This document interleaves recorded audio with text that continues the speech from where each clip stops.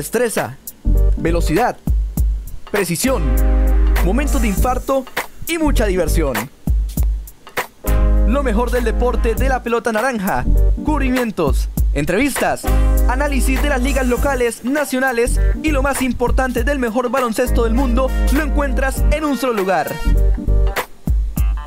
24 segundos, el programa donde la pelota naranja es la protagonista. No te lo pierdas, todos los miércoles a través del Facebook de Deportes R17.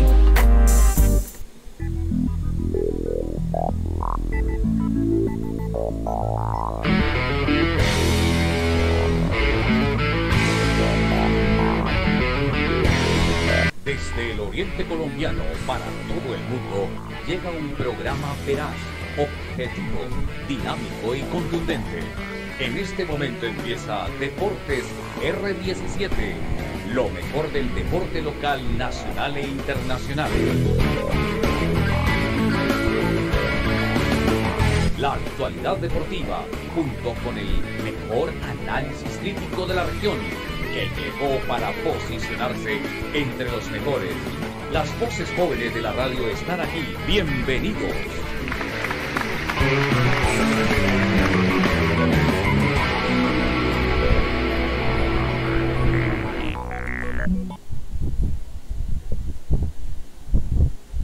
Hola, ¿qué tal amigos y amigas de 24 de Deportes Serie 17? Bienvenidos al primer programa del año 2021 de 24 segundos, en el cual estaremos tratando de muchos, muchos temas de lo que se ha presentado. Y hoy, este día que es muy especial, digamos, se puede hablar de un día, una jornada histórica en la NBA, en lo que ha sido la cuestión de los traspasos, de los trades o de los traslados de los jugadores de, distintos jugadores o de distintas franquicias.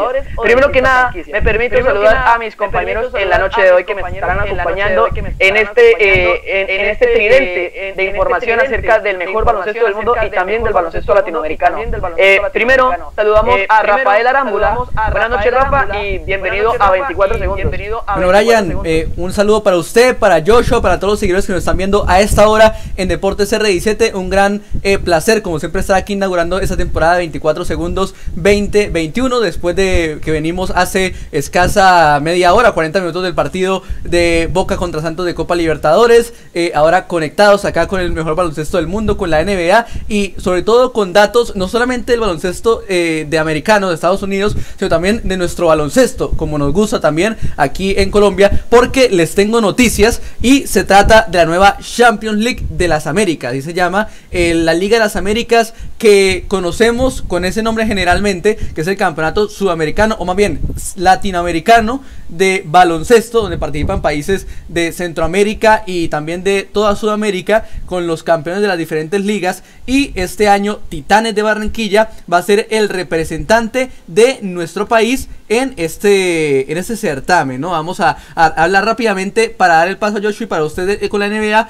Quería hablar, hablar de ese tema. Y bueno, empezamos con el tema del repaso de los equipos que hacen parte de, de esta zona de, del torneo. Estarán, eh, bueno, conocemos a, a, Kimsa, San Lorenzo e Instituto de Argentina por parte del, del, país gaucho, Flamengo, Franca y Sao Paulo de Brasil, Valdivia de Chile, Real Estelí de Nicaragua, Aguada y Peñarol de Uruguay, eh, Caballos de Coclé de Panamá y Titanes de Barranquilla, el equipo colombiano, esos son los participantes de esa Champions League. Y eh, en el grupo A, correspondiente con el equipo panameño y con el equipo de Nicaragua, me refiero al, eh, al quinteto de, eh, de Caballo de Coclé de Panamá y Real Estelí de Nicaragua serán los, los dos rivales del equipo colombiano y el formato es de la siguiente manera.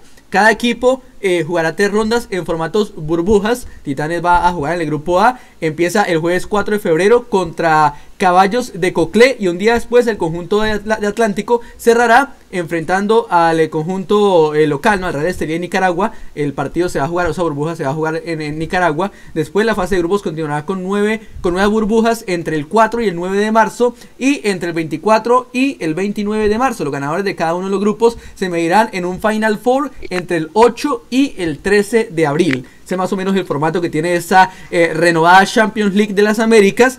Y obviamente con muchos protocolos, sin público en los estadios. El ingreso solamente estará habilitado para las personas acreditadas, alguna que otra persona de prensa, de transmisiones y pues los que se hacen a cargo de todo este eh, certamen, ¿no? De logística y demás. Y Titanes volverá al plan internacional después de jugar la Liga de las Américas en el año 2019. En ese entonces, aún sin contar con la experiencia y el desarrollo que tiene la liga de hoy en día. Y eh, en el resto de los grupos, pues el grupo B y el grupo C se jugarán en Buenos Aires y darán inicio al torneo con el duelo de San Lorenzo contra Aguada y el grupo D tendrá un gran partido en la burbuja Río de Janeiro entre Flamengo, Peñarol e Instituto. Esos son como los grupos que quedaron conformados en esta Champions League de las Américas, muy interesante y que le deseamos lo mejor al elenco de, Barranquilla, ¿no? El elenco colombiano. Recordemos, 4 de febrero inicia este, este torneo y vamos a estar por supuesto informando en Deportes RI7 en 24 segundos lo que pase con el cuadro colombiano. Bueno, gracias Rafa por la información acerca de lo que sucede en el contexto latinoamericano del baloncesto. También hay que tenerlo muy presente y pues también, claro, desearle la mayor de las suertes, la mayor de las fortunas al tricampeón del torneo colombiano como lo es Titanes de Barranquilla, esperando una muy grata participación en este certamen internacional. Y bueno, trasladándonos a lo que es noticia y a lo que vamos a estar más adelante hablando en el programa, imagino que Joshua también nos estará hablando acerca de eso. Quiero darle la bienvenida también en este primer programa de 24 segundos a mi compañero más, eh, a mi compañero más, más, más, más usual en este programa, que es Joshua Chía. Eh, buenas noches, Joshua. ¿Cómo está? ¿Cómo está? Buenas noches, Buenas noches Brian, Rafael, cansado después de narrar el terrible partido de Boca y bueno, aquí comentando luego NBA, tremendo crossover, pero bueno, eh, hoy no los acompaña mi cara, pero ahí tienen la foto de LeBron James fumando, ¿qué más quieren? A ver, a ver, pues sí, claramente la noticia del día es el traspaso, ¿no? De James Harden a Brooklyn Nets. Un traspaso que sorprende. que sorprende. O sea, yo creo que no sorprende que James Harden haya sido traspasado. Creo que sorprende más que Kyrie Irving se quede ahí y no haya sido moneda de canje en el traspaso con Houston Rockets. Pero bueno, un traspaso a muchas bandas tiene muchos nombres. Yo te traspaso para ir comenzando con eso. Yo sinceramente pienso que el motivo de que James Harden, haya, sido traspasado, eh, tiene que ver eh, mucho con los últimos partidos de los Rockets. Eh, ah, yo siempre he pensado que Laker rompió Rockets en la burbuja y hizo que Westbrook se fuera. Y otra vez Laker, Laker acaba de volver a romper a los Rockets con dos palidas seguidas. Ya James Harden se dio cuenta de que no pueden competir. Entonces Harden ya terminó de soltar la bomba de que me voy, ya no quiero irme más. Ya como que se dio un poco más de menos respeto con sus compañeros, los compañeros lo saben. Eh, eso de que no, es que Houston ya lo tenía palabras hace días, es, sí es cierto, pero yo creo que con lo que pasó ayer se terminó a acelerar. Porque yo pienso, es una teoría, pienso, porque es que habían informes que decía que Houston quería continuar con Harden. Y unos informes hace nada, hace algunos días. Pero claro, después de todo esto, eh, yo pienso que Brooklyn Nets no quería hacer el canje porque yo me imagino que le iban a, pedir a, a, a Kyrie Irving y no lo querían dar. Ahora, si Houston Rockets viene con un, con un canje, pero no le importa a Kyrie Irving, pues claramente Brooklyn lo ve como una opción tremenda y se queda con James Harden. Entonces, lo que pasó estos días eh, con Lakers y Houston y Harden, pues yo creo que ayudó mucho para que se resolviera todo más rápido y al final esto terminara en un montón de nombres y rondas de draft que usted ahorita lo va a, a decir para empezar a desmenuzar qué es lo que nos, nos, puede esperar la NBA con este traspaso que claramente hoy es una bomba, la NBA cambia y posiblemente tenemos uno de los mejores trientes de la historia, eh, por no el mejor, en, materia ofensiva. en materia ofensiva claramente, en defensiva quizá no, pero en materia ofensiva sin duda es el más grande de la historia y pues nada, interesante lo que hizo Brooklyn. Eh, bueno, sí, Joshua, eh, ya que pues adentraste al tema de, de, de que del traspaso, el multitraspaso que hubo en esa jornada de NBA. Recordarles a todos los que nos están viendo cuál fue el traspaso y en qué consiste este traspaso. Bueno, primero, este, esta información va de parte de Cham Charnia y también de eh, también eh, claramente confirmada esta información por Adin Warnarowski, que es uno de los periodistas en, en, en materia de NBA que más eh, digamos, más afamada tiene por, eh, digamos, la confirmación y de que cuando este periodista da su palabra, prácticamente es un hecho entre franquicias. A, la, a eso de las 2 de la tarde, una y media de la tarde, se dio el, eh, se dio el comunicado por parte de Adrian Warnarowski en su página, en su página de internet acerca de que James Harden no seguía con los Houston Rockets después de la declaración de, digamos, una penosa eh, declaración a mi gusto, porque creo que James Harden en Houston Rockets fue James Harden. Creo que Houston Rockets eh, fue más para James Harden que lo que James Harden fue para los Houston Rockets, en referencia a que fue el que le dio la confianza, fue el que le dio la casa, fue el que le dio los millones, y que creo que irse de este modo, eh, digamos, eh, despotricando de sus compañeros, despotricando de sus directivos y despotricando de toda esta, de toda esta organización que pues fue durante prácticamente desde el 2012, 2013, 2012, 2013 que fue, que fue este, traspasado de los Oklahoma City Thunder a, a los Houston Rockets me parece que no es algo tan, no es una de las mejores formas de irse y más para prácticamente el cuatro veces campeón de, eh, de qué, de, de, de Champion, o sea, el que más anota puntos en la NBA y el MVP hace tres temporadas. Entonces, creería que es, es un, un poco mala la forma de irse la de James Harden. Y bueno, consistiendo en cuál fue el traspaso, es un traspaso de cuatro bandas, el primer traspaso de cuatro bandas hecho en la historia de la NBA en el cual, en el cual involucran a cuatro equipos que son Houston Rockets, efectivamente, Brooklyn Nets, efectivamente, Indiana Pacers y Cleveland Cavaliers. ¿En qué consiste este traspaso? Miren, Houston Rockets, en primera medida, eh, bueno, primera medida vamos a hablar de lo más sencillo. Brooklyn Nets recibe a James Harden. Punto. James Harden y nada más y nada menos que cuatro veces campeón de, de, de en, en, la NBA, ¿no? No hay que decirlo, MVP, no lo es. MVP de la NBA, jugador que promedió en una temporada 36 puntos por partido. Y creo que desde, si no estoy mal, desde Kobe Bryant, eh, si no estoy mal, desde Kobe, Bryant en el, dos, en el 2009, eh, ningún jugador, ah, ningún jugador promediaba más de 30, más de 30 puntos. Ningún jugador sí, promediaba más de 30 eh, puntos. El último que promedió fue desde, Stephen si no estoy Y desde Jordan no se veía un jugador promediar tan alto en puntaje. Totalmente. Bueno, James Harden se va directamente, directamente a los Brooklyn Nets, de los cuales este, va eh, a Houston Rockets, estarían yendo Víctor Oladipo, Dante Edson, eh, Rodiot tres rondas de primera, o sea, tres primeras rondas del draft de la NBA provenientes de Brooklyn una primera selección, una primera selección, una primera vuelta o una primera ronda, como se le quiera llamar, de Milwaukee, esta con la característica de que es una ronda protegida. ¿De qué nos referimos con una ronda protegida? Que esta ronda garantiza los 10 primeros lugares del draft de la NBA. Esta ronda de Milwaukee proveniente del cambio que se hizo con George Hill y con este y también con eh, Eric Bledsoe a, a, New Orleans Pelicans que la recibe Milwaukee y Milwaukee la comercia a lo que es este Cleveland Cavaliers. Luego recibe cuatro intercambios de primera ronda de Brooklyn Nets. Esta sin ninguna, esta sin ninguna restricción y, sin, ningún, eh, y sin, ningún, este, sin ningún protegimiento. Quiere decir que Houston Rockets prácticamente recibe ocho rondas del draft, ocho rondas de primer, ocho primeras rondas del draft y una ronda protegida. Ah, en todo este movimiento.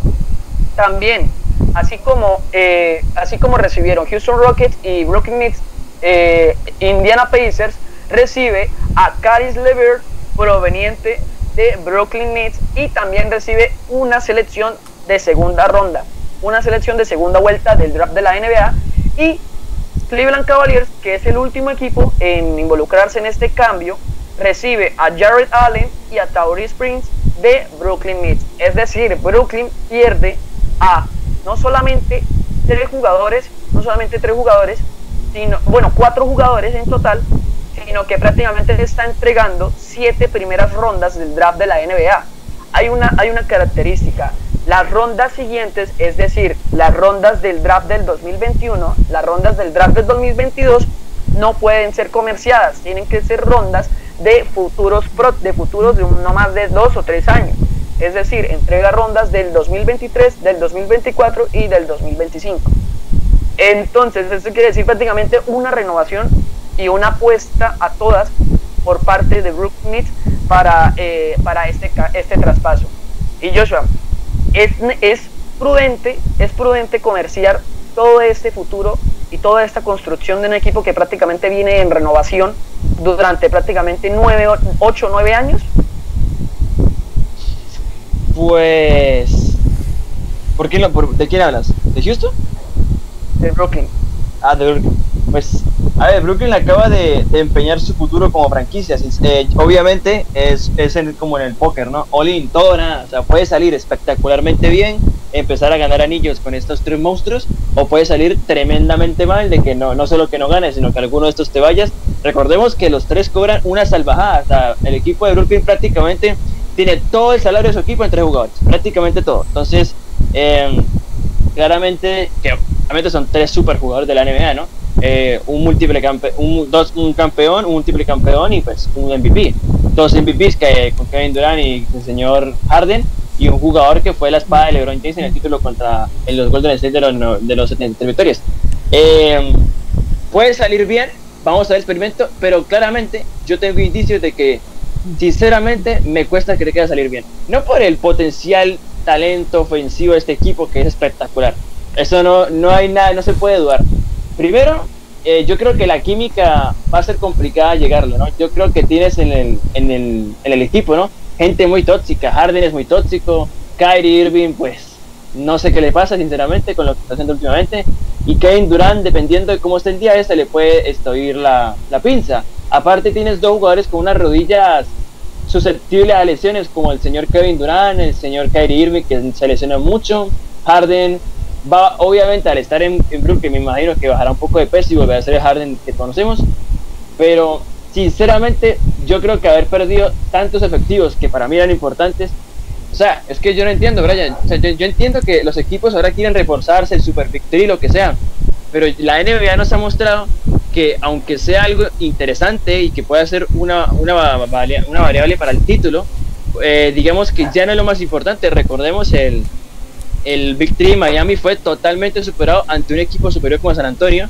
O sea, no tuvo nada que hacer. Y eso porque el año pasado el señor Real le dio por meter un triple y San Antonio le dio por fallar tiros libres. Si no, San Antonio se queda con los dos títulos. Eso por encima. Eh, recordemos que también habían perdido contra Dallas. Eh, recordemos el, bueno, ya el victory de, bueno, el victory de, Golden State Warriors no hablo porque eso no era un victory, era un big five. En fin.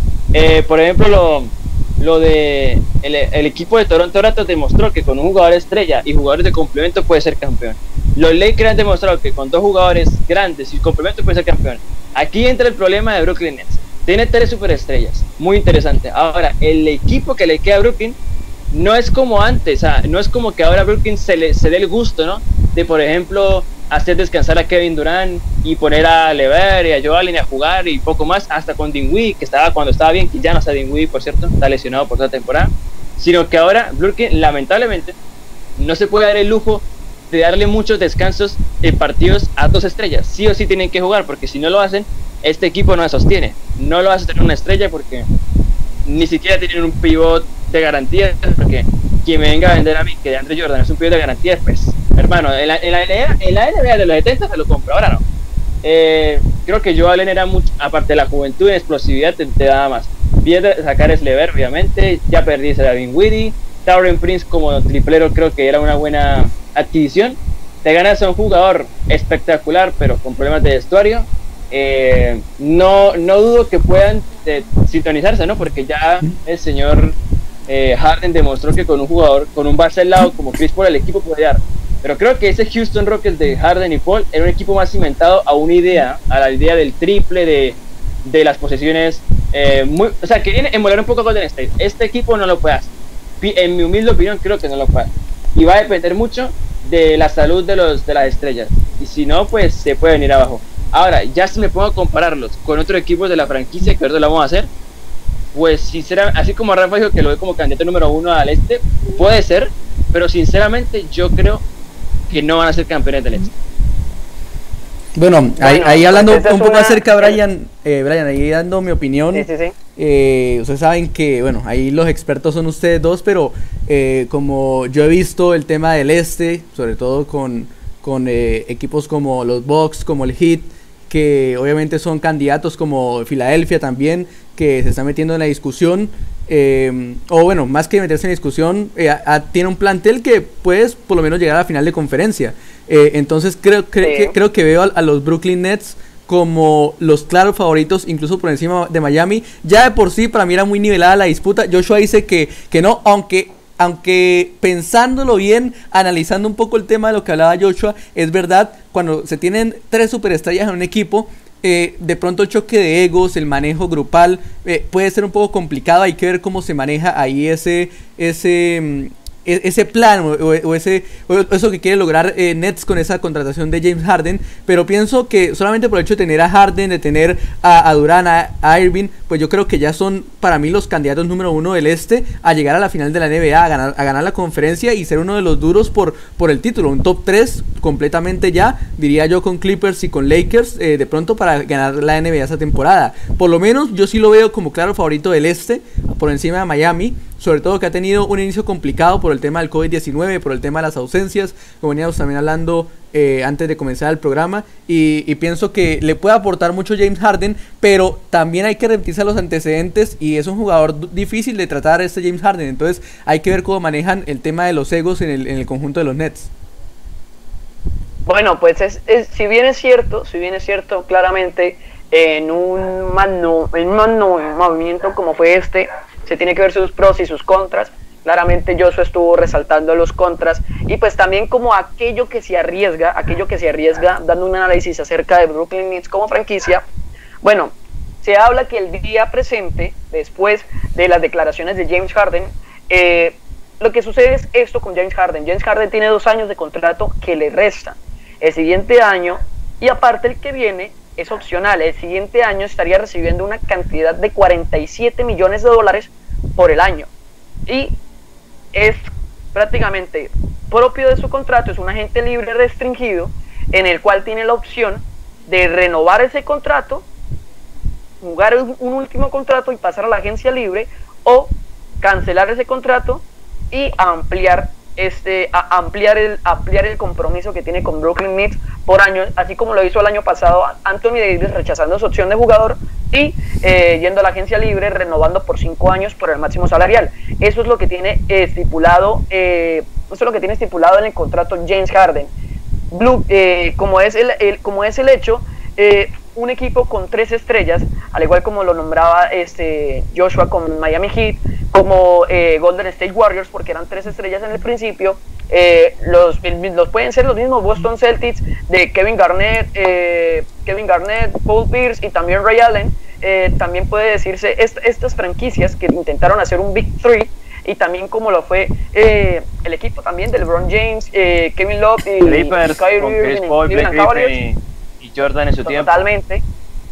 Todos, todos estos equipos tienen en común, todos estos equipos tienen en común un factor, que es que en reunir tres estrellas trataron y lograron colocar a un jugador en el tercer escalón, a un jugador en la tercera voz de la ofensiva. Estamos hablando de un equipo meramente ofensivo. Estamos hablando de un equipo meramente ofensivo que el que puede responder en la parte de ambos costados de la cancha es Kevin Durant. Pero de resto, Kyrie Irving y James Harden si bien pueden defender a un jugador, no creo que sean capaces de defender a una estrella y mucho menos a un jugador de mayor envergadura. Llámese un posible cruce contra Jason Tatum, contra los Boston Celtics, llámese un posible cruce contra Jimmy Butler, eh, contra Miami Heat, llámese un posible cruce con Ben Simmons eh, contra Filadelfia, hablando de candidatos y hablando de contenders. Por su parte, lo que establece para, mí, la provincia, eh, para mí la franquicia de Brooklyn Nets, lo que está haciendo es prácticamente un salvoconducto es un salvoconducto y es asegurar un futuro no solamente para esta franquicia en, en, tanto a ganar un anillo en esta temporada o en tanto a ganar un anillo en la siguiente temporada, sino más bien en crear, en tener sostenibilidad de un proceso. Recordar que Kyrie Irving ya tiene tres años eh, de haber firmado con los Brooklyn Nets. Le queda poco tiempo y aparte un jugador tan volátil como Kyrie Irving que viene dándonos de qué hablar con prácticamente cuatro partidos sin jugar por motivos personales, se acusa de que lo que lo, mantuvo fuera de las canchas fue aquello que sucedió, eh, sucedió lo vergonzoso y lo lamentable que sucedió en el Capitolio de, de, que de Estados Unidos en Washington y pues para mí en lo personal no creo que haya sido motivo suficiente para que Kyrie tenga que perderse partidos y partidos importantes ante rivales de conferencia entonces para mí eso no es un argumento viable y más enfrentándose a un equipo como Philadelphia 76ers que en este momento está segundo en conferencia. Lo que sucede es que para mí creo que James Harden al ir a Brooklyn Nets asegura un dueto, asegura un dueto a largo plazo que podría ser entre, entre Kevin Durant y James Harden. Yo creería que la tercera voz y la tercera voz que sería el descontento y la que podría salir el siguiente año, en años, en años siguientes, está entre Kyrie Irving y entre James Harden y cómo se acomoden y cómo se acoplen a este proceso que va en torno a Kevin Durant, único jugador base de este equipo. Porque recordar, Kevin Durant y Kyrie Irving eran amigos, y han venido siendo amigos desde hace muchísimo tiempo y han querido jugar juntos desde hace muchísimo tiempo en declaraciones públicas que ya han estipulado ambos jugadores. Y aparte, James Harden inició su carrera en el Oklahoma City Thunder de Kevin Durant. Han jugado juntos. Ya saben lo que es compartir y ya saben lo que, ya, saben lo que es llegar a una final de NBA jugando juntos. Simplemente distinto, lo han sabido. Entonces, este orden de ideas, yo quería que la persona un poco más tóxica y menos comprometida a su a su y que James Garden es uno que tiene muchos tiene muchas tiene muchas recriminaciones y necesita tener muchísimo el balón y cuando no lo tiene tiende a desesperarse creería que eh, puede compartir un mejor proceso con Kevin Durant y podrían ser mucho más figuras y mucho más entonces bueno hablando y pasando de otro tema este, se están jugando eh, varios partidos en simultáneo es de 24 segundos. Nuestro compañero Rafa nos va a comentar qué es lo que está sucediendo en ese momento en esta jornada de NBA, Rafa. Bueno, Brian, así es, varios partidos, cinco para ser precisos, se están disputando a esta hora. En, eh, en el final del tercer cuarto, eh, Dallas Mavericks vence 87 a 72 al equipo de los Hornets. Y bueno, aquí estoy revisando las estadísticas, por ejemplo, de Lunka Doncic, que acumula en el partido 30 minutos, 12 rebotes, 8 asistencias y 32 puntos para el jugador europeo, para uno de los mejores jugadores candidatos al MVP en esa temporada. Lo decíamos en, el programa de inicio de temporada del año pasado, el último programa del año, que Luka Doncic era un claro eh, candidato a llevarse el MVP y bueno, eh, está llevándose este eh, Dallas al hombro con este resultado que ya está 88 a 72 ganando el conjunto de los Mavericks.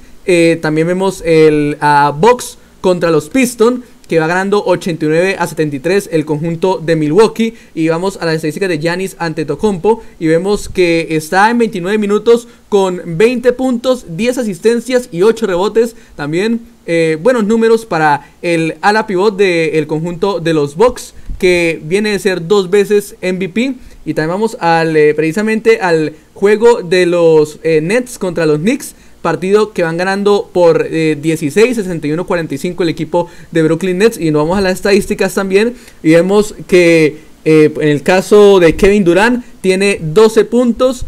4 asistencias y 0 rebotes en 16 minutos eh, jugados. Por aquí, bueno, como usted decía, Kyrie Irving no está jugando. Eh, otro que también tiene buenos números es Brown, eh, Bruce Brown, que tiene 12 puntos, 2 asistencias y 8 rebotes. Y bueno, esos son eh, por el momento algunos eh, marcadores. También vemos a los Lakers de nuestro compañero Joshua. A se alegra algo con la victoria de los Lakers, por lo menos hoy, porque está ganando parcialmente 40 a 32. Y se le alegra la noche a nuestro compañero Joshua, no, ya va 46-32. En este caso vemos... Deberían ganar. Claro, los Lakers eh, con Anthony Davis con dos unidades, una asistencia y cuatro rebotes. Vemos también a LeBron James, al King, que tiene 11 puntos, una asistencia y dos rebotes en 12 minutos jugados nomás. Entonces, eso es eh, este momento el marcador de LeBron. Y eh, también vemos a, a los eh, Timberwolves que le están ganando por 4 puntos a los Grizzly, 37-33 en el segundo cuarto. Y eh, esos son algunos marcadores que están dando en este momento. Brian, más adelante tendremos el partido entre Clippers y Pelicans y también el de los Kings contra Portland Trailblazers. Brian hablaba ahorita, Rafa, de, de, sí, Joshua. del nivel de, de Brooklyn. Yo quisiera, para ustedes, ¿no? Para ustedes, hoy en día, por lo que se ha visto, ¿qué equipos en la NBA, no en plantel ni en talento, que es complicado, en, en equipo, son superiores a, estos Brooklyn Nets que todavía falta verlos, pero no sé, en las sensaciones. En equipo, en, equipo. En equipo, en, equipo como tal. Eh, claramente es una pregunta trampa porque la respuesta es más que obvia. Son Los Ángeles Lakers el equipo número uno, el equipo con mejor cohesión, el equipo con mejor plantel. Creo que Frank Vogel está avanzando mucho de nivel. Fíjate que yo no creo que ¿Ah? Lakers sea, que fíjate que yo no creo que Lakers sea el único equipo que no superior. Aparte, en equipo como tal, mm. el mejor equipo en cohesión de la NBA es Miami Heat.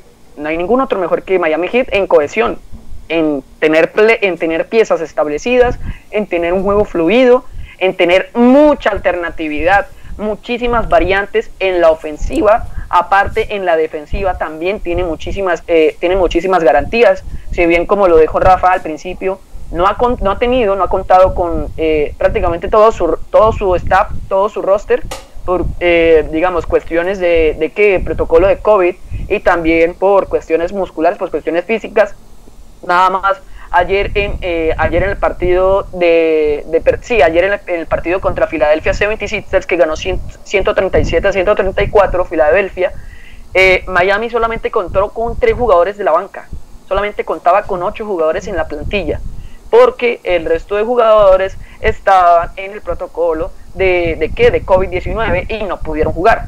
Entonces este con todo esto creo que desde equipo, solamente Los Ángeles Lakers, eh, los, eh, eh, Miami y me atrevería, me atrevería a decir que es un técnico que yo lo llevo siguiendo durante mucho tiempo, proceso de Brad Stevens con los Boston Celtics en este momento y aparte Boston Celtics y, e Indiana Pacers están, digamos, de una manera de cohesión por encima de Brooklyn Nets, pero ojo, todavía falta que ver. O no tiene una moneda al aire porque yo la verdad eh, no se puede no se puede negar no se puede negar que existe la posibilidad de que Kyrie Irving, Kevin Durant y James Harden hagan clic de un momento a otro. No se puede negar esa posibilidad. Eh, Joshua, bueno, ah, también respondiendo un poco a su pregunta. Eh, respondiendo a su pregunta, Joshua, bueno, yo también creo que mm, no, no encuentro un equipo que, que sea superior a los Nets en tema de equipo, como usted lo dice.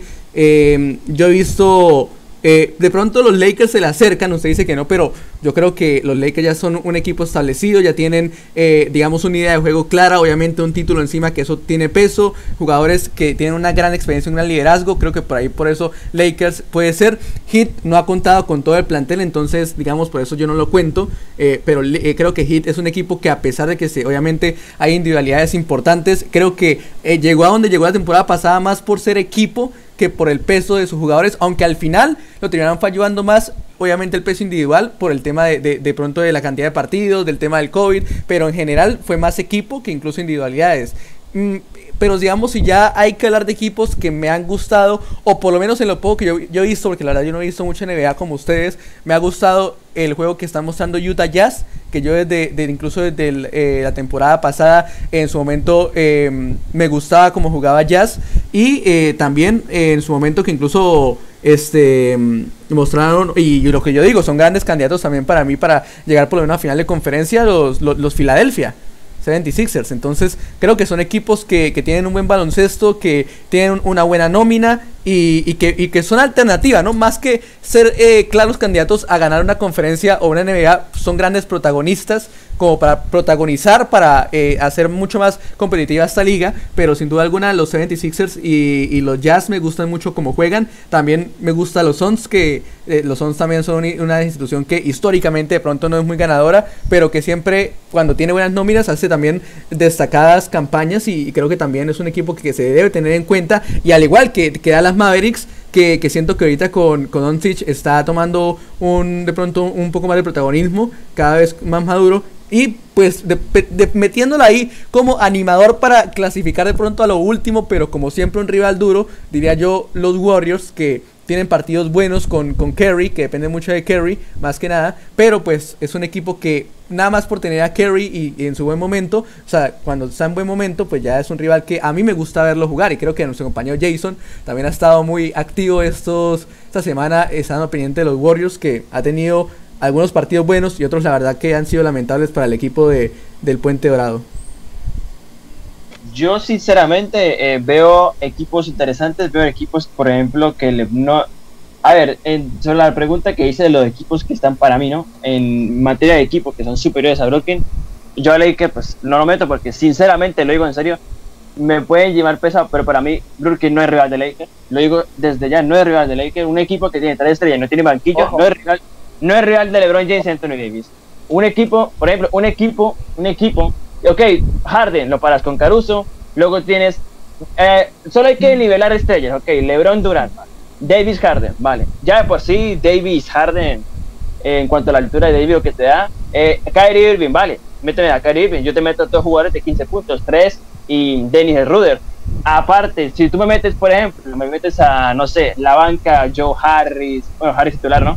Joe Harris, Chame, yo te meto a Ken Davis Caldo Pop, que para mí es un infravalorado tremendo. Te meto a Horton Tucker, te meto a Kuzma, que no lo nombro, a Margasol con la visión que tiene. Luego te puedo también meter a, a Marquis Morri, que hizo unos playoffs tremendos. Entonces, en materia de roster, lo digo con humildad, a partidos de playoffs, eh, Brooklyn no es rival de Lakers. Entonces yo tengo que sumar otros equipos. Creo que Clippers sería un rival interesante. Eh, Clippers, creo que yo he visto mucho Clippers esta temporada. Me encanta cómo juega el quinteto inicial cuando juegan conectados, literal. Te meten una cantidad de triples que no los ve venir. Lo que es Batum. Creo que Batum está jugando muy bien. Creo que es un gran fichaje de Clippers. Creo que Ibaka se complementa perfecto. Ibaka se complementa perfecto. Creo que Harris se complementa mejor que Ibaka en los Clippers y eso los ayuda. Beverly cumple, Kawhi Leonard y Paul George pues siempre van a cumplir. Vamos a ver Paul George en playoffs si no se le Pero eh, bueno, eh, Kennard digamos que más o menos está ahí. Lo Williams siempre responde. Eh, otro equipo, Milwaukee, sincera, Milwaukee sinceramente yo no lo meto porque aparte que sinceramente tiene una forma de pecho fríos. Yo creo que a Yanis cada día más se, se le dan le dan ataques de le dan ataques porque ahora ve esto en su conferencia y dice, bueno, cada vez más complicado ser campeón. Lo siento, Yanni. Y em, Miami también no tiene su roster completo, puede mejorar. Eh, Denver y Utah, pues creo que van a hacer lo mismo que la temporada pasada, este, aspirantes. Vamos a ver cómo mejora Dallas con Christian Porzingis, que quiero verlo, que si Don está en un modo... Volvió hoy. Pues sí, vamos, sí, yo sé que volvió hoy, pero vamos a ver eh, cómo se sigue complementando con los nuevos jugadores. Eh, Creo que Dallas es un equipo muy peligroso también para equipos de la NBA. Eh, la Filadelfia me está gustando bastante. Más allá de todo, creo que Filadelfia, aparte que empezó muy bien, simplemente pues tuvo un montón de lesiones. Eh, bueno, y COVID y todo eso ya irán mejorando. Eh, Danny Green, por ejemplo, tiene partidos de 0-9, que fue el hace dos, y ayer te metió, ayer creo que Danny Green metió, si no estoy mal, 19. 9 triples metió Danny Green. 9 triples metió, o sea. 9 puntos. Sí, por eso. Entonces, depende de la noche, se tienen a Howard, Embiid, Harry, Simmons, que siempre es un equipo que, está ahí. Y Boston Celtics, creo que es un equipo que siempre va a estar ahí. Y mientras los Jason Tate y Jalen LeBron sigan mejorando, va a ser peligroso. Pero hay un equipo que calladito, calladito se ha reforzado bien, que es Indiana Pacers. Creo que Damantas, Damantas Sabonis, cuando vuelva TG Warren, eh, la nueva adquisición de Caris Lever, que creo que para complementarse con el equipo de Indiana toda la vida, creo que Karen Lever es un mejor complemento para el equipo de Indiana que lo que puede hacer Víctor Olaipo. Aparte, Víctor Olaipo pues ya está, está, más para afuera que para adentro. Aparte, en Indiana también lo de Miles Turner, Brockton, que viene de Milwaukee y, lo hace genial, Justin Holiday, eh, Miles Turner. Sinceramente, creo que es un equipo muy fuerte que no. que si tiene toda la plantilla entera, es un equipo que empleo te puede complicar. Indiana. Totalmente de acuerdo con ese aspecto, Joshua, eh, pero este, yo tiendo a diferir un poquitico en el aspecto de que creo que intentas como que menospreciar un poco a, que, a lo que es el conjunto de, de, ¿qué? de Broken Nets con este movimiento, con este magno movimiento que hubo. Es que estamos hablando de tres estrellas, de tres superestrellas, de tres máximos salariales, como lo es Kyrie Irving, Kevin Durant y eh, James Harden. La cosa es cómo funciona cómo funcionan. Porque estás diciendo y estás prácticamente planteando que no va a haber una fluidez y que no va a haber una parsimonia dentro del juego y dentro de la cancha que logre manejar Steve Nash. Acordándonos de que uno de los técnicos que más ha sabido llevar a James Harden lo está dirigiendo como asistente en, este, este equipo, que sería este, que sería eh, siempre se me olvida. Este, bueno, es asistente de Steve Nash, es asistente de Steve Nash. Steve Nash como jugador consagrado, como uno de los mejores bases de la historia, yo no creo que Kyrie Irving, yo no creo que Kyrie Irving, dentro de su amor por el baloncesto, dentro de su amor a su, a su, a su qué, a su protagonismo del baloncesto, vaya a renegar algún consejo o alguna guía que le produzca Steve Nash. Entonces, creería que desde esa parte no. Y aparte, este James Harden, Kevin Durant y Kyrie Irving te pueden dar una solución y es que si bien si bien en la segunda unidad Kyrie Slaverde era el que te comandaba el equipo, pues simplemente tú puedes colocar a descansar a dos de tus estrellas y prácticamente un jugador que en un partido con todas las con todos los con todos los balones y con todas las oportunidades te puede promediar 28 puntos por partido. Entonces, yo no creo que sea un más a menos este este trade que hizo Brooklyn Nets y que creo que puede ser puede llegar a ser un win to win para todos los equipos. Tanto para Cleveland Cavaliers como Jared Allen y Tauren Prince tanto para este Indiana Pacers con Caris Lavert y también para eh, Houston Rockets con todas las selecciones del draft que le dieron. Entonces por ese lado creería de que hay una que cree que hay una equivalencia entre todo esto todo este proceso y aparte tener a jugadores como Josh Harris tener jugadores como eh, de Andre Jordan, tener jugadores como este eh, Luatu, tener a jugadores como eh, eh, Jordan Claxton, aparte tener a jugadores como Andre Shemet, te pueden complementar una banca que te puede dar, te puede, te puede producir y no necesita tanto del protagonismo, no necesita tanto del balón como si lo necesita Kevin Durant, Kyrie Irving o James Harden, quien decida este, prácticamente Steve Nash comandar la segunda unidad por ese lado en materia ofensiva creo que este equipo puede meter, en materia se puede meter sí, te puede meter 140 puntos pero cagado la risa.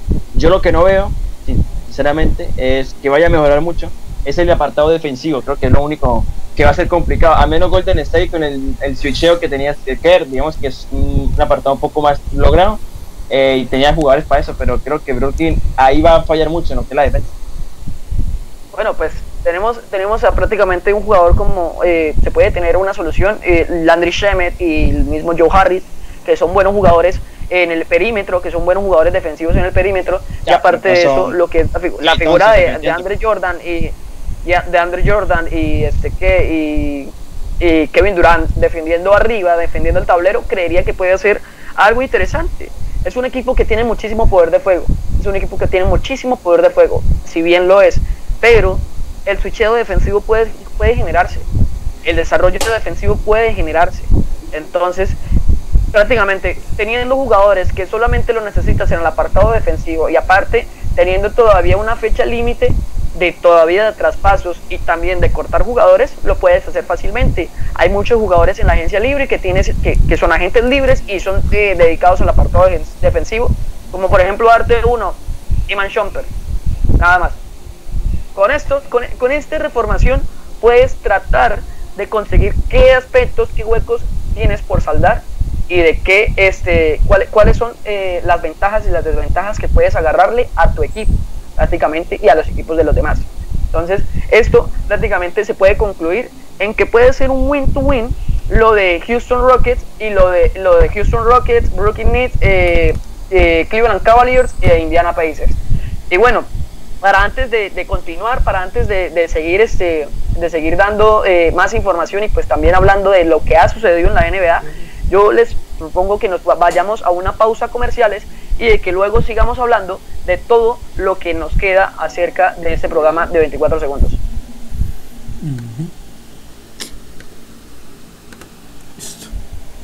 Ya. Todo tipo de mujer se puede beneficiar con este novedoso equipo láser llamado Mona Lisa.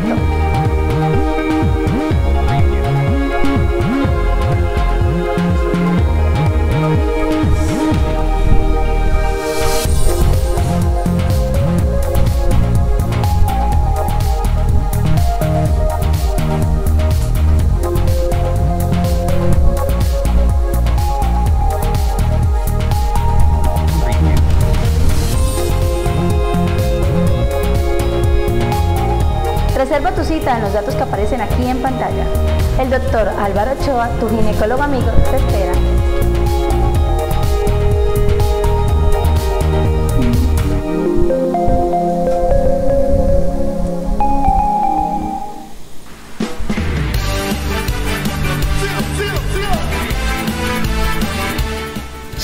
Andrés, la tienda de ropa y elementos deportivos número uno de los norte santanderianos. La única empresa 100% cucuteña que ha vestido al Cúcuta Deportivo y a los grandes del deporte rojinegro. Balones, camisetas originales, guantes y otros elementos deportivos los puedes encontrar en Superdeportes Andrés, el que mejor viste a los deportistas del hoy y del mañana. Patrocinador oficial de Deportes R17, ubicado en el centro de Cúcuta, en la calle 12, número 406. Número de contacto 313-2140-481.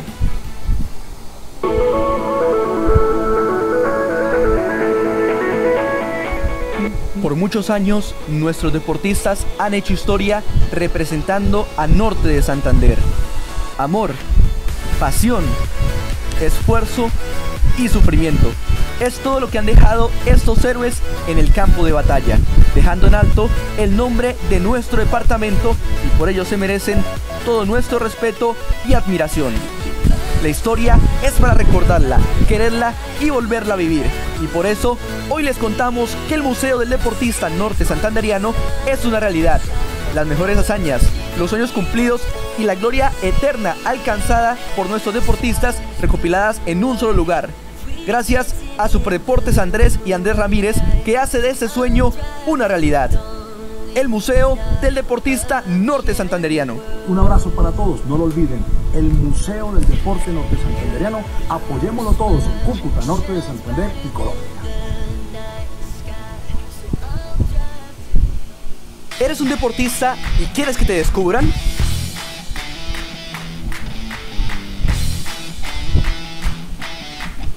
Que los más importantes equipos vean tus goles, tus puntos, tus canastas, tus mejores jugadas y la mejor versión de ti. Entonces no esperes más, porque aquí te ayudamos a crear tus videos, tus producciones para que logres el sueño de ser el mejor deportista.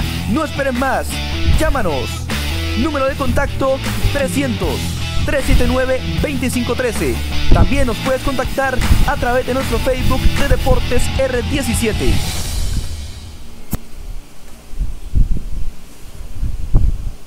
Bueno, y volviendo a lo que es esta parte de 24 segundos, ya tratando de, consolidar los temas que tenemos en toda esta noche, en todo este primer programa, y en lo que prácticamente nos adentrará a lo que va a suceder en este el resto de temporada de, la NBA. Eh, bueno, quiero eh, preguntarle a Rafa, darle un, eh, pedirle una pequeña actualización de lo que son las tablas de posiciones de ambas conferencias, tanto de la conferencia este como la conferencia oeste, Rafa. Claro que sí, Brian, Joshua. Bueno, eh, empezamos con las eh, posiciones de la conferencia este de la NBA. Vamos a, a decir, ¿decimos todas o el, el primero al octavo lugar? El primero al octavo lugar. Listo, el primero al octavo lugar, que son generalmente los que clasifican a, a la siguiente ronda de, de playoff. Eh, Celtics está primero, siete partidos ganados, tres partidos perdidos. Eh, luego está Filadelfia, 8 partidos ganados, 4 partidos perdidos. Están los Bucks, 7 ganados, 4 perdidos, al igual que Indiana Pacers en el eh, cuarto lugar. En el quinto lugar están los Orlando Magic con 6 victorias y 5 derrotas, al igual que los Hornets que son sextos. Y Brooklyn Nets, el equipo del que hemos estado hablando este programa, está en el séptimo lugar. Tiene igual número de derrotas que de victorias, 6-6. Y con 5 victorias y 5 derrotas están los Hawks en el último lugar en el cual estaría clasificando. Ya después están los Knicks, los Heat, los Cavaliers, los Bulls. Bueno, en fin, los equipos también históricos de esa conferencia este. Eh, la conferencia oeste de la NBA se encuentra de la siguiente manera. Primero eh, se encuentra el equipo de Los Ángeles Lakers, que además creo que es con, estos, con estas 9 victorias y 3 eh, derrotas nomás, el mejor equipo de la NBA, de los 30 equipos de la competición. Eh, de segundo lugar está Utah Jazz, del cual yo les dije que me gustaba mucho el juego de ellos. Siete victorias, cuatro derrotas. Eh, igual número de victorias y derrotas que tienen Clippers, que es tercero. Y los Phoenix Sun, que son, pues, que están en cuarto lugar y también me gusta mucho cómo juegan. Después en el quinto lugar está Portland Trail Blazers, que tienen seis victorias y cuatro derrotas. Más abajo tenemos a Dallas Mavericks con cinco victorias y cuatro derrotas. Y cierran los ocho primeros eh, Golden State Warriors, que veas, están en clasificación por el momento. Apenas inicia, pero eh, podría estar peor el equipo de Golden State, que tiene seis, eh, seis victorias, cinco derrotas. igual número de victorias y derrotas que tiene San Antonio Spurs, que se encuentra en el octavo lugar. Y ya luego abajo están equipos como Thunder, Kings, Nuggets, Pelican, bueno, en fin, los demás equipos de la conferencia oeste de esta genial temporada 2021 de la NBA. Brian? Bueno, una pregunta puntual para Joshua, básicamente, este, ¿sorprende Joshua ver a equipos como eh, Denver Nuggets en la onceava posición y equipos como Miami Heat en la décima posición en este momento no estando en clasificación de playoffs? No, porque hay que recordar que esta es la bautizo más corta de la historia de los, de los deportes de los Estados Unidos. Nunca antes había comenzado tan rápido entre temporadas, entonces también digamos que no es normal el poco descanso que han tenido algunas eh, algunos planteles. Uno dirá, pero pues descanso, sí, estos equipos juegan 82 partidos, bueno, los periodos juegan muchos partidos, entonces claramente se necesita mucho descanso y preparar las nuevas plantillas, los equipos cambian mucho en cada temporada, entonces hay planteles que son nuevos en cuestión de meses, entonces claramente es normal que a poco pues no se empiece bien y pues los engranajes no estén activados. Eh, no sorprende para nada. Sorprendería cuando llegáramos 40 partidos pero apenas llevamos unos 10, 12 partidos, nada, no sorprende mucho. Aparte hay que sumar el COVID, que hay muchos partidos donde jugadores no juegan, planteles que juegan con suplente, entonces todo eso hay que sumarlo. Sinceramente, yo creo que la tabla ahora es una mentira completamente y cuando llevemos unos 40 partidos, no, unos 35 partidos, 38 por ahí, ya podremos dar una valoración un poco más seria, pero ahora lo que vemos en la tabla es esto, pues, es relativo, sinceramente. Eh, y con respecto a algo, eh, recordemos que también hoy, hoy quiero dar un comentario, ¿no? Cleveland, que también estuvo en parte, ¿no? En parte de las negociaciones del, del, trade a cuatro bandas. Cleveland dio, ¿no? A Edson y a una primera ronda y recibió a Otavio Prince y a Jared Allen, ¿no? Poco se habla, pero Cleveland calladamente hizo un movimiento interesante para ellos. Interesante. Creo que podría ser uno de los que menos dio y uno de los que más, recibió, Porque claramente. La bueno, dio a Dante Edson y a una primera ronda protegida, que pues una primera ronda protegida es bastante atesorada. Pero para jugadores como Jared Allen y jugadores como Tyrone Springs, creería que, pues digamos, como que la sacó un poco, eh, un poco nutrida el equipo de Cleveland Cavaliers, recordando que Andre Drummond es agente libre ahorita en este, eh, eh, apenas acaba esta temporada, Andre Drummond finaliza contrato con Cleveland Cavaliers. Claramente, Cleveland, después de tener a Allen, no lo va a renovar ni en coña. Claramente Allen va a ser representante de Draman, pero ni en coña lo va a renovar. Aparte, Draman cobra mucho. Entonces, ahí ya consiguió el reemplazo de Draman. Y vendrían siendo prácticamente cuatro jugadores para establecer la misma posición.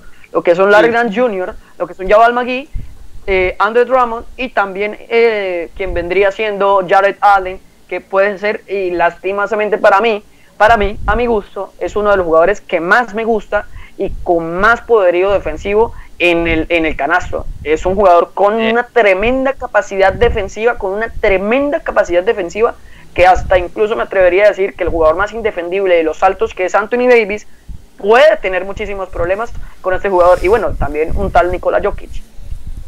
Sí. No, que es, perdí, para mí perdió un jugador importante eh, de esto Brooklyn. Más allá de lo que ganó, es un jugador que Sí, sí, sí. O sea, lo, de lo que ganó, sí, pero pierdes baluartes interesantes en materia defensiva, pero bueno.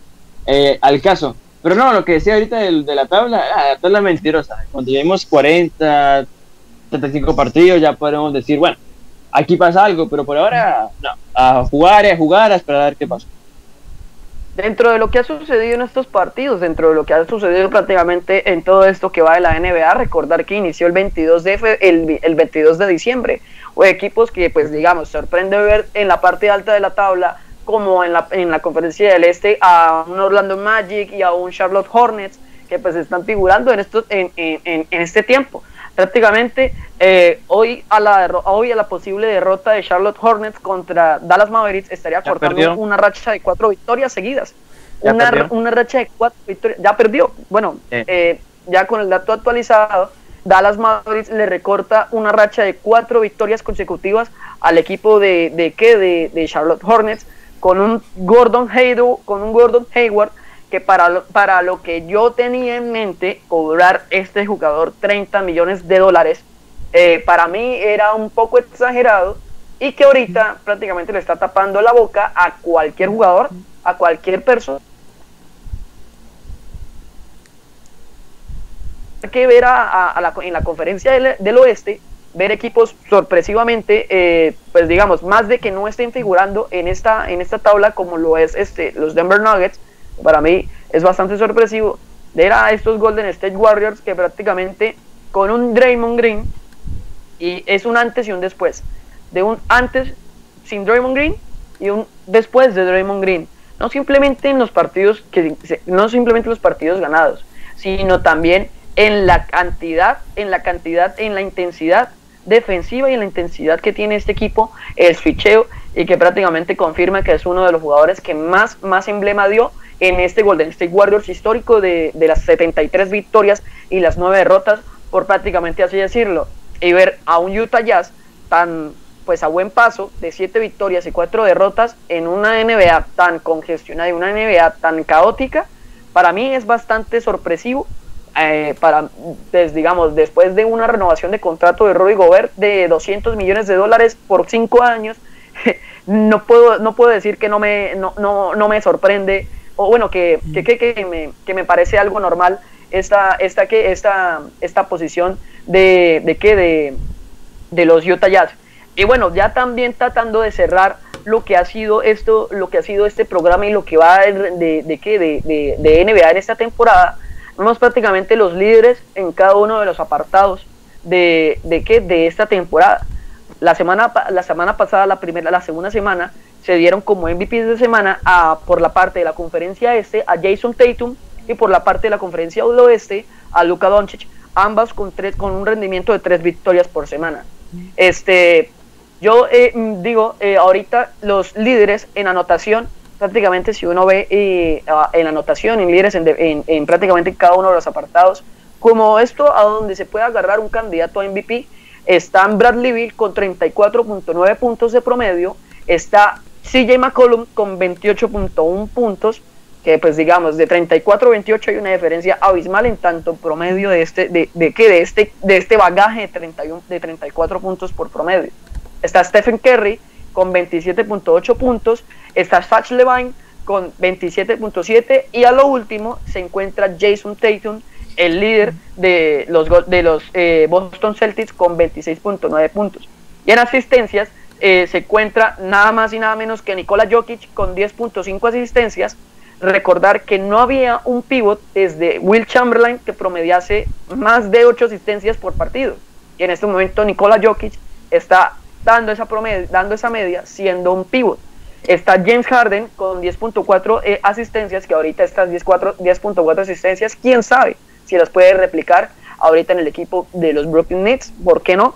Está Chris Paul con 8.7 asistencias por partido, Trey Young con 8.5 eh, asistencias por partido y en el último en el último casilla del apartado en quinto lugar está Luka Doncic con 8.3 este con 8.3 asistencias en este apartado. Lo que uno puede ver es, digamos, eh, eh, en, esto, en, este, en, en, este liderato de las estadísticas, uno puede darse cuenta que no hay un jugador dentro de este apartado, a excepción de Jason Tatum, a excepción de, de, de Stephen Curry y a excepción de Luka Doncic, que el resto de los jugadores son equipos que no están en playoff, eh, y también de Chris Paul.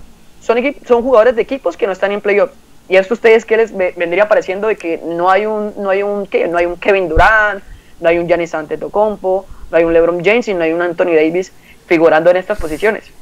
Oiga, y además muy bueno lo de Luka Doncic, que eh, está de sexto en puntos y quinto en asistencias, sí, no está en el top 3, pero usted ve el tema de los puntos, casi 27 puntos por partido y además eh, 8 asistencias por partido, entonces son números... Eh, que no he contado los rebotes. Claro, y, y, eso que no hemos contado los lo, lo rebotes, aquí pues no me aparece entre los 10 primeros, pero... Eh, no, pero sí tiene muchos que... Sí, sí tiene no muchos. Eh, promedia, 8, promedia 8 rebotes. Bueno, imagínense, 26 puntos, 8 rebotes y 8 asistencias por partido eh, promediando. Eso es excelente para un jugador, digamos, eh, que eh, tiene la batuta de pronto más adelante de, de, suceder a, un grande de la NBA, como puede ser LeBron James o también otros jugadores, y, ser el, llamado, digamos, gran estrella de la, NBA en, su en un futuro pues, cercano. Solo hay un jugador, solo hay un jugador en la NBA al cual tiene que eh, le tiene que ser el turno y el LeBron James. Así que pues eh, no hay más. Entonces, obviamente, para suceder la batuta de LeBron James, el número de LeBron James son 24 puntos, 8 rebotes, 7,5 asistencias, jugando 31 minutos. Eh, nada mal. la NBA en los Power Rankings, en los Power Rankings del MVP, la semana pasada terminó LeBron primero y Donchi segundo. Por ahora, así va, falta mucho, pero por ahora, comenzando, así va la lucha del MVP. Y hay uno, pues digamos, con base a estas estadísticas, que pues incluso el dato de Doncic en la primera semana venía promediando 24 puntos por partido. Luca Doncic que se decía que vino gordo, que vino fuera de forma, que no vino en un buen ritmo, que estaba tomando malas decisiones. Y bueno, su servidor acá no se ha perdido ningún partido de, Dallas Mavericks y sí venía jugando mal Luca Doncic, no venía, bueno, jugando mal por lo que nos mal, mal acostumbró. nos mal acostumbró vino pesadito y jugando y no tomando buenas decisiones.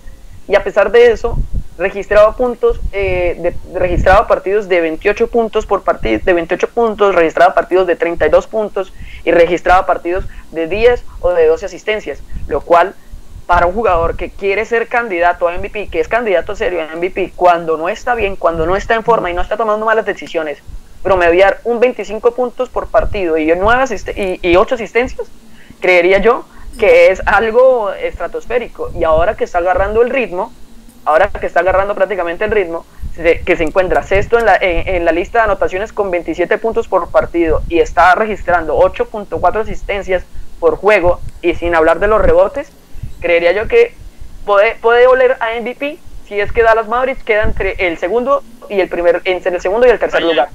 Eh, acaba de ganar Milwaukee, por ende eh, llega a 8-4, empatando la línea de, de Filadelfia. Este, yo hace 8-4 de Milwaukee le voy a poner un asterisco porque los últimos partidos, los mira, las últimas seis victorias de Milwaukee son Detroit, Orlando, Cleveland, Detroit, Detroit, Chicago. Vamos, no hago con nadie, la verdad.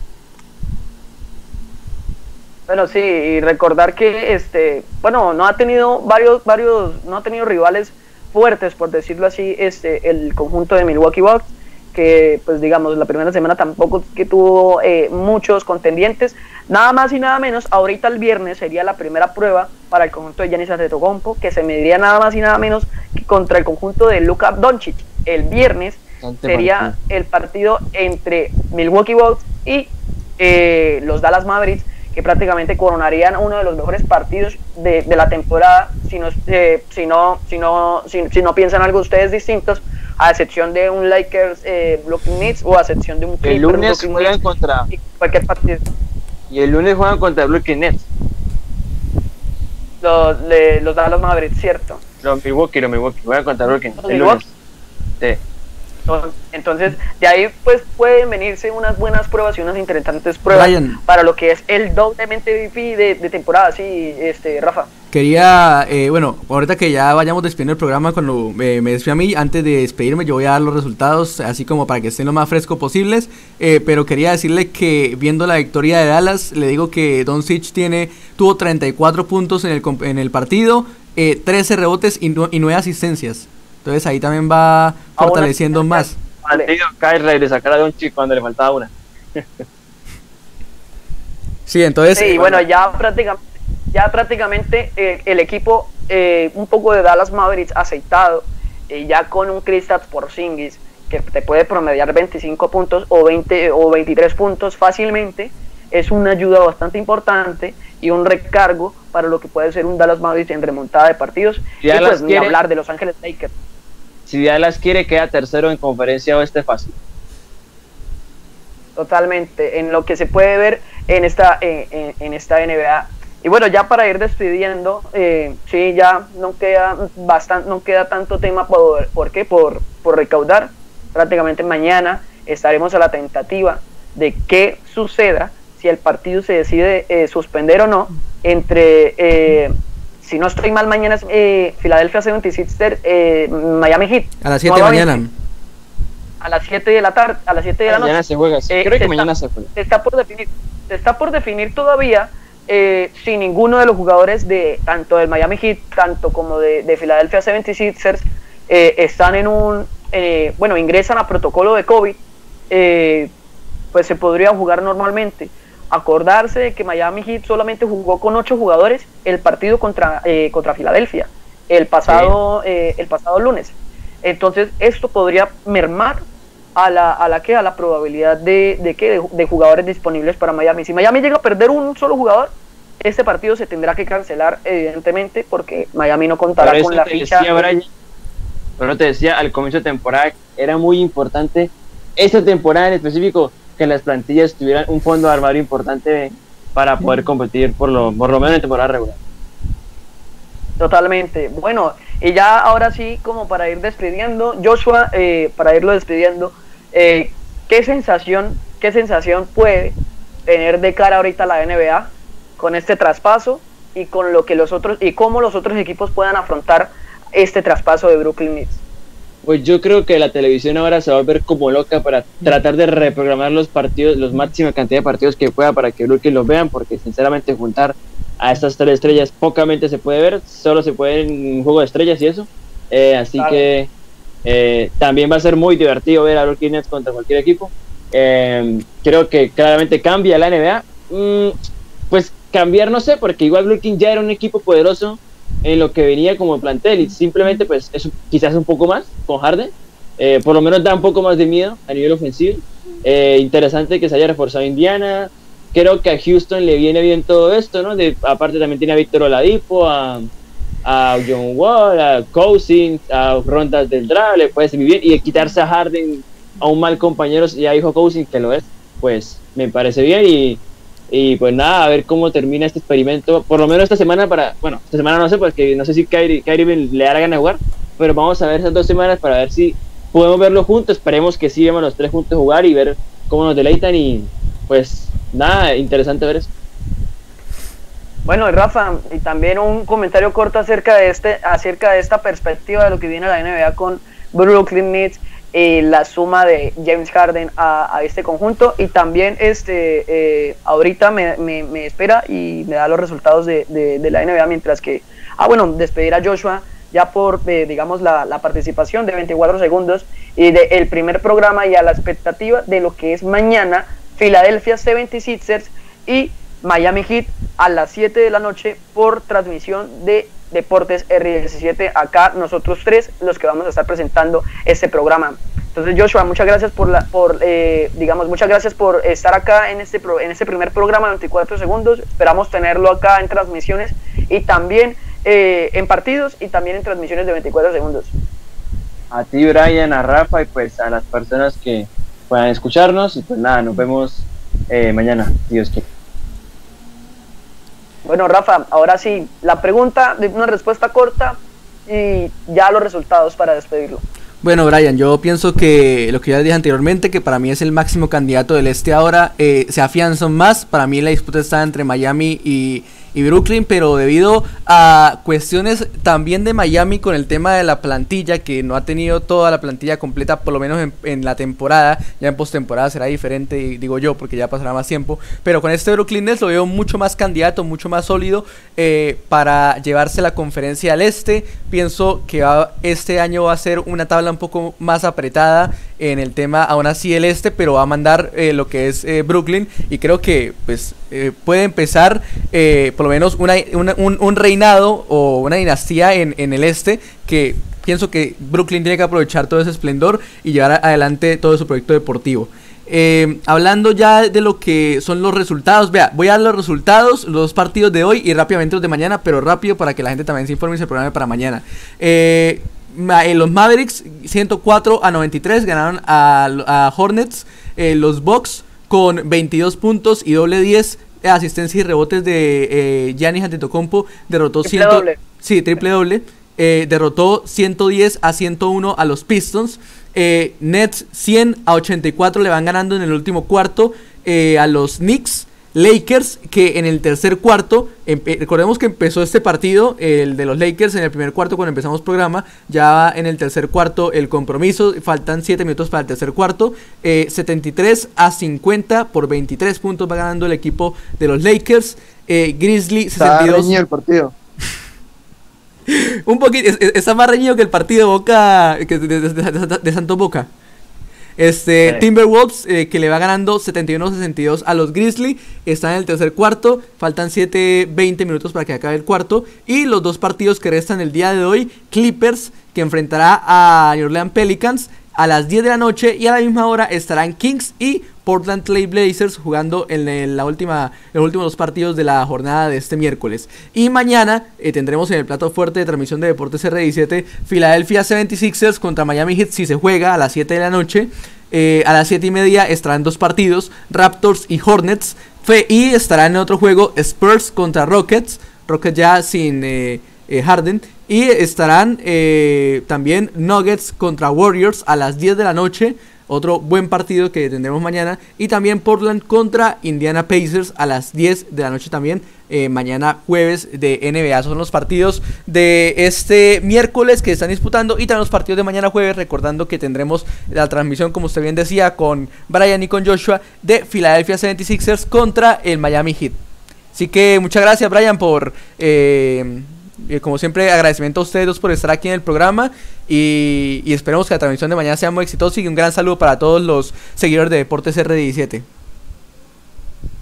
No, Rafa, gracias por acompañarnos y también recordarles nuevamente a todos los seguidores que tendremos el partido de Philadelphia 76ers Miami Heat a las 7 de la noche. Claramente vamos a iniciar un poquito antes la previa de este partido, lo que puede, este, de lo que puede suceder.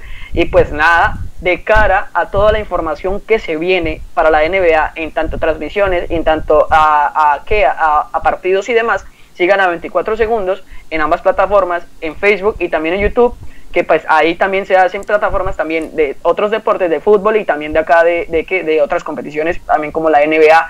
Y pues nada, eh, si quieren estar atentos a toda la información de lo que sucede en la mejor liga del mundo, en cuáles equipos pueden ganar, en cuáles equipos pueden ser los, favoritos y también, ¿por qué no?, atinarle algún parlay. No duden en seguir la página de Deportes R17 en la sección de baloncesto. Y nada, muchas gracias a todos por seguirnos, por estar apoyándonos en este programa. Un saludo para la familia Zanabria, un saludo también para Laura Maldonado que nos acompañó en este programa y nos veremos mañana en la transmisión de Philadelphia 76ers Miami Heat a las 7 de la noche, incluso 15 minutos antes. Entonces, chao, chao, chao a todos. Listo.